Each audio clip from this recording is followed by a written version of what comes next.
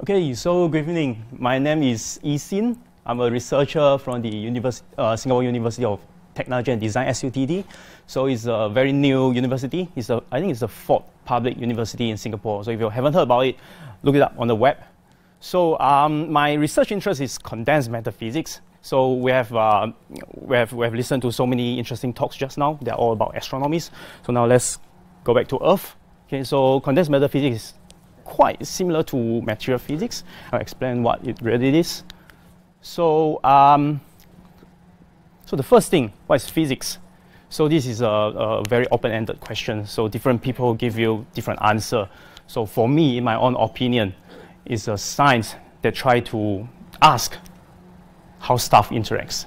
So there's a how there. So it means it's physicists are constantly asking questions, and stuff actually refers to anything that is physical in this universe. So it can be a ping pong ball, a galaxy, some, or it can even be something abstract like information, entropy, interacts. So because stuff interacts, so everything is kind of interesting. If there's no interaction between stuff, everything will be static, and physics become meaningless. Okay? So this is my interpretation of uh, physics. In a, in a, more technical sense, you can say that physics is the study of uh, the dynamics of the fundamental structure of the universe. So um, there are actually many branches of physics. So our, our, our modern world is actually driven by physics. So there are a lot of different fields, but today I'm only going to uh, concentrate on one field, that is the condensed matter physics. So how many of you guys have heard about condensed matter physics? Oh, it's good. It's good. So not not quite many. So how, how, how many of you guys have heard about astronomy before this talk? So probably everybody heard about this, right? So so it looks like it's, uh, it's, you know, it's something strange, condensed matter, what the hell, right? So so now I will try to convince you that this is something is actually something interesting. So I, I, I looked up some. Uh, I just dug out some uh, statistic from a very prestigious journal called Physical Review Letters. Okay, so it's like the, the golden standard of physics. So physicists do research, and then they publish the articles. They have to publish it in some science magazine. Okay, so Physical Review Letters is one of the best in physics. Okay, so if you if you go to their website, if you look at the, um, the, uh, the uh, articles, they actually sort their articles according to the categories. Okay? So if you look at the categories, there are quite a lot of them. But you will immediately notice that condensed matter physics has the most papers. Okay? So it's probably a little bit difficult to uh, understand this quantity because they are just numbers. So we can actually represent it graphically. Okay? So if I set, if I equate actually it's one font size. If I equate one font size um, to a thousand articles, and then I type the categories out, this is what I will get for the other categories, right? And for condensed matter physics, we have this. So actually quite a lot. Even if I combine all the other fields into a category called, into a category called other physics, it's still slightly smaller than condensed matter physics. So condensed matter physics is actually very active and very happening. Right. So, so long time ago, people thought that you know electrons have these well-defined orbits around the uh, hydrogen atom. But later on, what they found is that if you if you incorporate uh, the theory of electromagnetism into this classical orbiting model, what you get is that the electron will slowly lose the energy and then will spiral into the hydrogen atom. So what you will get eventually is an atomic collapse. And so in the end, you will have nothing at all. But this is not true, right? We are all quite stable, right? Everything is stable except the stock market. So, so, so about 100 years ago, the physicists realized that the classical model is not correct. So they proposed that electron is actually a wave. And this is subsequently proven. It's certainly proved in the experiments. So, so if, you, if you plug this wave nature into the equations and you solve for the equation, what you get is orbitals. Okay, so the electrons do not follow well-defined orbitals. They, they, instead, they, they are distributed quite randomly following certain patterns. Okay? And this starts the uh, very bizarre quantum mechanics. Okay? So um, this is actually the, the, the, second hardest thing in the world. Okay? So the hardest thing is trying to uh, decipher what girls are thinking about. So there's the hardest thing in the world. Okay? So this is only slightly easier than that. Okay? So quantum mechanics is quite hard. Okay? So, um, so this is only for one, one atoms, but in our everyday life, we are, we are dealing with billions and billions of atoms. Okay, so we have to put so many atoms together. So the collective dynamics of many, many tiny, tiny atoms and electrons is actually condensed matter physics. So condensed matter physics, we are trying to study how stuff behave when we condense a lot of atoms into materials, into matter. Okay? So, um, so as a condensed matter physicist, we are constantly looking for new materials. Okay? So we're looking for 2D materials, nanostructures, and then we try to identify interesting physics from these new materials. And then the next thing to do is try to map this theoretical knowledge into actual device application. For example, we can create molecular transistor, nanostructures, nanotransistors that ultra fast performance. And the most important thing is we try to think out of the box. Can we create new stuff, new applications out of these new materials? So one of the major achievements of condensed matter physics is the uh, systematic classification of materials. So this is the uh, simplest uh, classifications. So we classify matter into conductor, semiconductor, and um, insulator. So according to uh, classical theory, okay, uh, sorry, according to quantum theory, so we, the, uh, the uh, dynamics of electrons in condensed matter actually follows some very strange um, um, uh, band structure. So that means the electrons cannot live in anywhere. So they have to stay inside energy bands. Okay? So for, for a conductor, something like a metal, the electrons are, are, are can, can, can move quite freely in the energy band. This is because uh, there are a lot of space, space for them to move around. Okay? So if we go to an insulator, what we have is that the energy band split into two floors. Okay? We have an upper floor called a conduction band, and then we have a lower floor called the valence band. So the valence band is fully occupied. There are so many electrons there. So when you put a voltage, nobody can move because it's so packed. Okay? That's why insulator cannot carry electrical current. Okay? So there's a huge separation between the valence band and the conduction band. It's called the band gap. For semiconductor, the energy band structure is quite similar as insulator, except that the band is quite small. So at finite temperature, if the temperature is non-zero, the fully packed, the, the, the, localized electrons in valence band can actually be, be excited into the conduction band. So what you get are free electrons in the conduction band. So by applying a voltage, you can drive a current through semiconductor. Okay? So what is so great about semiconductor? The IBM guys are talking about semiconductor. The Apple guys are talking about semiconductor. Everybody is uh, they are talking about the uh, semiconductor. So the fancy thing about semiconductor is that it can be used as a transistor. Okay, so somebody called this called the transistor as the uh, the king of modern electronics.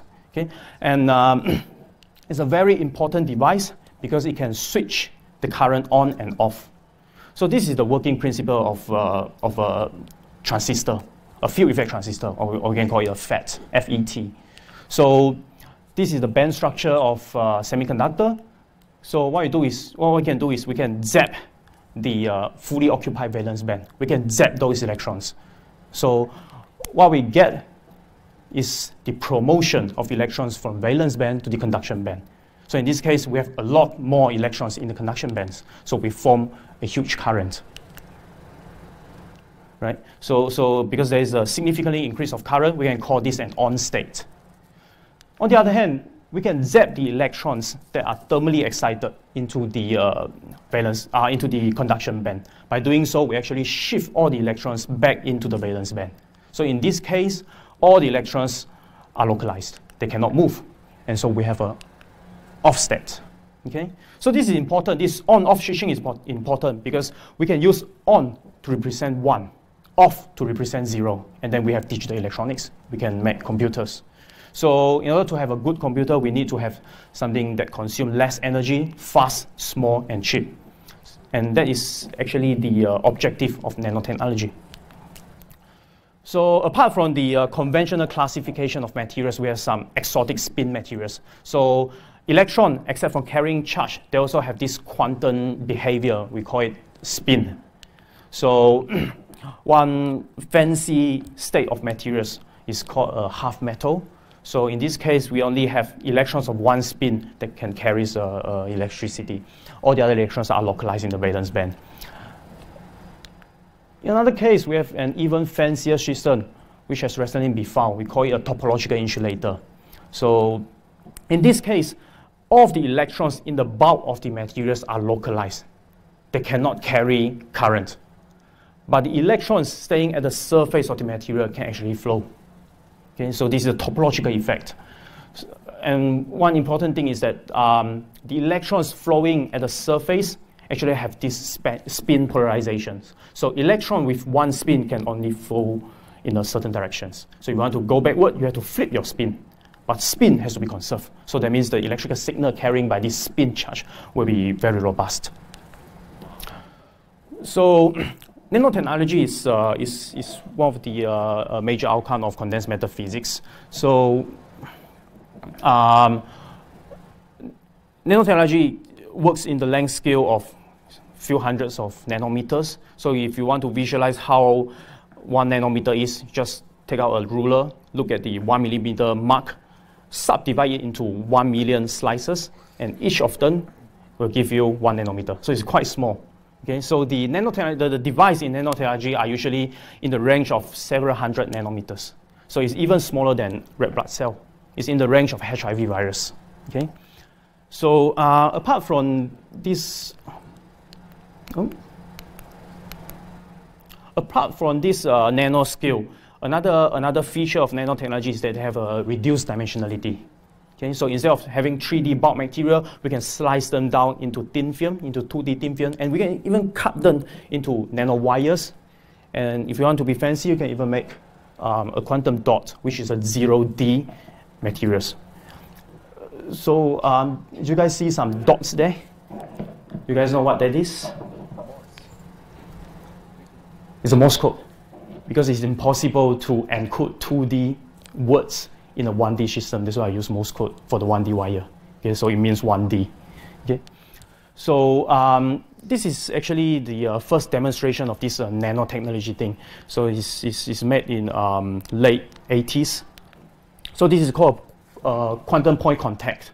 So if you look at this second diagram, there's actually a narrow channel between the two electrons. So these channels, the size of this channel is, is about 250 nanometer. So that means if you put a red blood cell in, the red blood cell cannot flow through. It's extremely small. So what, what physicists do is they sh shoot electrons across this, nano, uh, across this narrow channel. What they observe is that the conductance is quantized. The conductance increase in steps. Okay? This is actually a direct manifestation of the wave nature of electrons because electrons are wave according to quantum mechanics. When they pass through this narrow channel, they form a standing wave mode. And this standing wave mode is, is quantized. Only certain wavelengths can pass through. That's why you have this uh, quantized effect. So this is quite actually quite quite uh, interesting because you can see this quantum effect in a in a in a, in a mesoscopic device in a real structures in a, in a real device. So uh, an emerging field is called the uh, nanoelectronics. So this actually involves almost everyone in science and engineering so one of the key focus of nanoelectronics is to try to uh, invent new device applications. Instead of using uh, electrons to make devices, now we are trying to use we're trying to use excitations in condensed matters uh, to make devices. So these excitations means that when we put a lot of atoms together, we we can create. if we somehow perturb the system, we can create excitations. And in quantum mechanics, these excitations can be mathematically described as a quasi-particles, is a, is, a, is a virtual particles. So by manipulating these particles, we are able to produce transistor, for example. We, we, we, we can even make refrigerator. another, another, another key focus of nanoelectronics is um, to test extremely high energy physics and cosmology in condensed matter environment.